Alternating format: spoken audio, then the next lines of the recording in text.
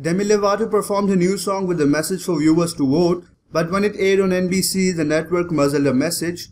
Lovato took the stage Wednesday for a moving rendition of her song Commander-in-Chief, a song that takes direct aim at President Trump, the way she wanted it to air and it was originally recorded. At the end, the word vote is very clearly displayed across the video board on the stage.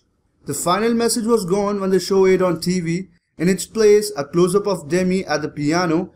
Sources say the network pulled the plug on the vote message because the song itself was a slam on Trump and the vote message was a call to vote against him.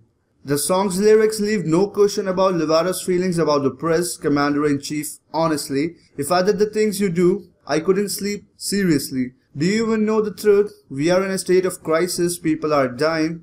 While you line your pockets deep, Commander-in-Chief, how does it feel to still be able to breathe? She doubled down on her message earlier Wednesday, saying, I literally don't care if this ruins my career.